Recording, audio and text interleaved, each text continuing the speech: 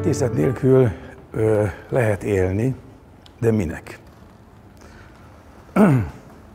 Én azt gondolom, hogy a költészet, az akkor, a líra, az akkor is van, akkor is él, hogyha arról nem veszünk úgymond tudomást, hogyha mi ezt nem tudjuk, de attól még bennünk él, él és létezik, és lélegzik.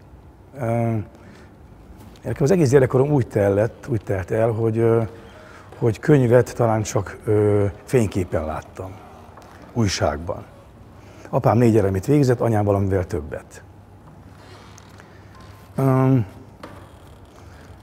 Így aztán, így aztán a könyvvel, a költészettel valójában én akkor találkoztam először, amikor iskolában voltunk és kötelező volt, de leginkább akkor, amikor én magam írtam. És emlékszem rá, hogy, hogy Arany János volt rám Petőfi mellett. Arany János volt rám a mm, legnagyobb hatással,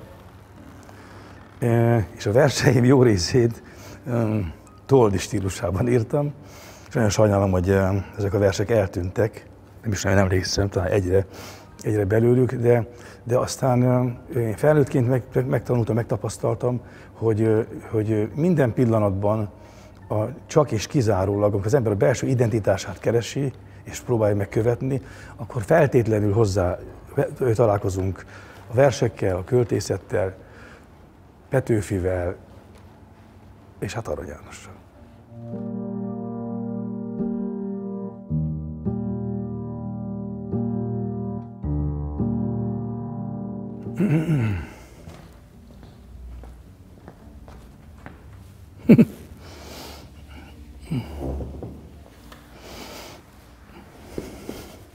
Na, kis úr.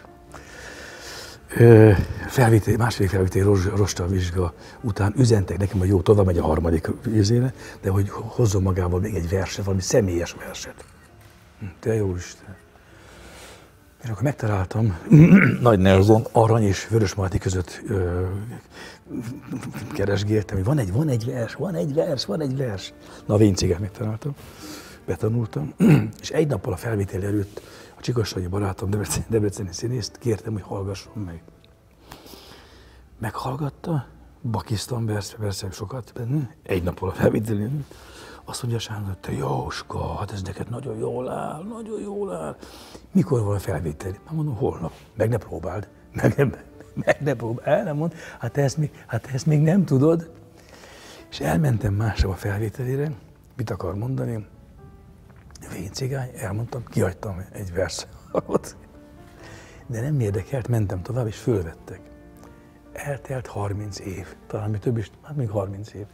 A Csikos Sanyinak volt egy ünnepe, egy jutalomjátékot kapott, és engem is meghívott, hogy ebbe közreműködjem, és elmeséltem ezt a sztorit, teltház volt a Zsokonai Színházban, elmeséltem ezt a sztorit, és mondtam, hogy Sándor, megtanultam a verset, engedd meg, hogy akkor most, akkor most elmondjam rendben.